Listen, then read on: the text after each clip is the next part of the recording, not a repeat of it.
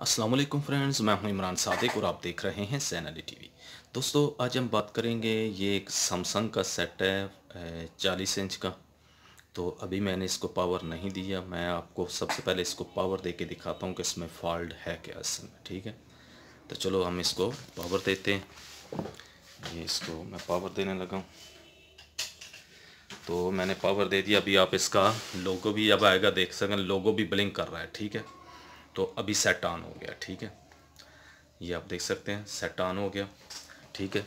ये थोड़ी देर चलने के बाद ये आप देख सकते हैं, यहाँ से आधी स्क्रीन जो है वो यहाँ तक आपको ब्लिंक करती नज़र आएगी, ठीक है? इसके अलावा इसमें ये लाइनें भी आपको, ये रेड कलर की लाइन है, यहाँ पे ये येलो कलर की लाइन है, ठीक है? ये रेड कलर और ये येलो कलर की लाइन ठीक है?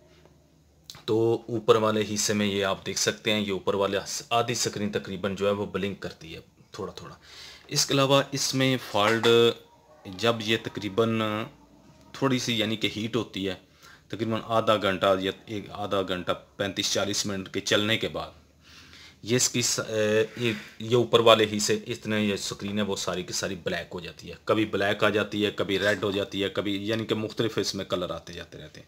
लेकिन अमूमन ज़्यादातर वो ब्लैक कलर में नज़र आती है, ठीक है? ये इसमें फॉल्ट है। तो अभी मैं इसको आपको इसमें केबल लगा के दिखाता हूँ। तो इसकी पिक्चर का भी आप रिज़ल्ट चेक कर लें। तो जी, आप देख सकते हैं, मैंने इसको केबल भी दे दी, लेकिन रिज़ल्ट इसका भी इतना साफ़ नहीं है। इसके अलावा आप देख सकते हैं, ये रेड कलर की लाइन आपको वाजे नज़र आ रही है। तो इसके अलावा आप ऊपर वाले हिस्से में देख सकते हैं, आप यहाँ पे ये फॉल्ट आपको नज़र आ रहा है, ठीक है? यहाँ तक। यहाँ से लेके आप यहाँ तक स्क्रीन का कुछ और रिज़ल्ट आप चेक करेंगे। इसके अलावा ये जब थोड़ी देर चलने के बाद ये देख सकते हैं ब्लिंक करना शुरू कर दिया है, ठीक है इसने? ये आप इसकी स्क्रीन का रिज़ल्ट देख सकते हैं। ये इसमें फॉल्ट है। अभी चैनल चेंज करता हूँ। ये देख सकते हैं, इस तरह से ये ब्लिंक करती रहती है, ठीक है?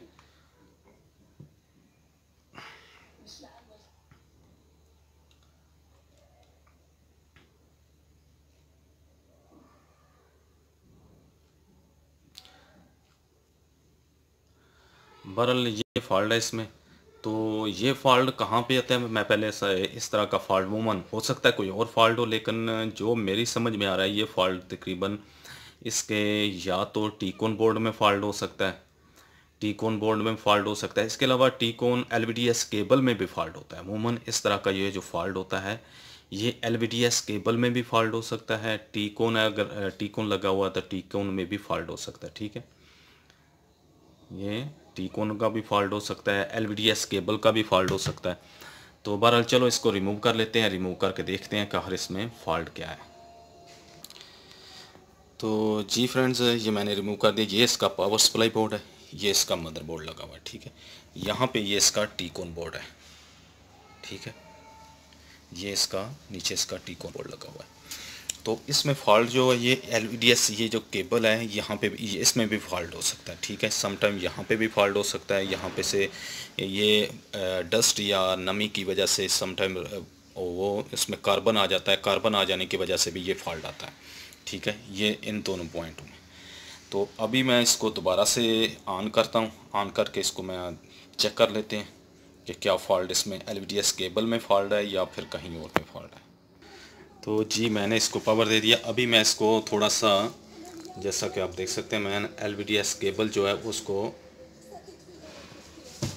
हरकत देने लगा हूँ। थोड़ा सा हाथ के ज़रिए मैं आपको दिखा देता हूँ।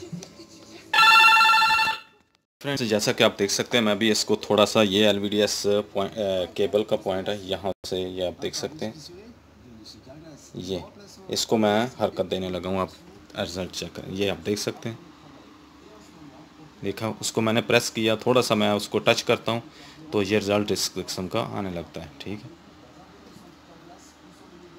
कभी तस्वीर चली जाती है, फिर आ जाती है। इसका मतलब है हमारी जो हमारा टीवी ओके है, बिल्कुल इसमें एल डी एस में फॉल्ट है, ठीक है? अभी आप इसका रिज़ल्ट चेक करें। ये देख सकते हैं, इस तरह का फॉल्ट ये फॉल्ट है इसमें, ठीक है? इसमें बस इसके एलबीडीएस जो केबल है, ये उसका फॉल्ट है, ठीक है? जहाँ पे ये इसका जैक लगा हुआ है, वहाँ पे ये इसमें फॉल्ट आता है, ठीक है? अभी मैं इसको छोड़ दिया तो अभी आप देख सकते हैं, तस्वीरों के लेकिन ये लाइन इसकी अभी भी बाकी है, ठीक है? तो बहरहाल चलो इसको, हो सकता है इसमें डस्ट वगैरह और डस्ट वगैरह से साफ़ करने से हमारा फॉल्ट जो है वो दूर हो जाएगा। फॉल्ट जो है, वो इस केबल में है, ठीक है? इस तरफ़ है। ये इसका पावर का बोर्ड जैक इसका फॉल्ट इसमें, इस।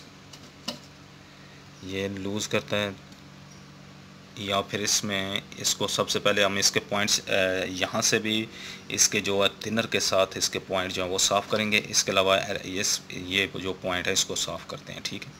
साफ़ करके दोबारा से इसको ऐड करते हैं। तो जी फ्रेंड्स, मैंने ये दोनों पॉइंट को साफ़ करके इस तरफ़ से भी और इस तरफ़ से भी साफ़ करके दोबारा से ऐड कर दिया और ऊपर से ये टेप कर दिया ताकि ये अब लूज़ ना हो, ठीक है? तो साफ़ भी किए हैं और लूज़ भी ना हो, इसलिए इसलिए मैंने इसके ऊपर टेप कर दी है, ठीक है? तो अब हम इसका दोबारा से रिज़ल्ट चेक कर लेते हैं, ठीक है? इसमें कोई फॉल्ट नहीं, बस इसमें एल केबल में ये डस्ट आने की वजह से जब कार्बन आ जाता है डस्ट आ जाती है तो फिर ये फॉल्ट आता है, ठीक है? तो मैंने ये दोनों तरफ़ से, उस तरफ़ से भी और इस तरफ़ दोनों तरफ़ से साफ़ कर दिया इसको। साफ़ करके लगा दिया। अब हम इसको पावर देंगे। पावर दे के सेट ऑन हो चुका है। तो अब हम दोबारा से चेक कर लेते हैं।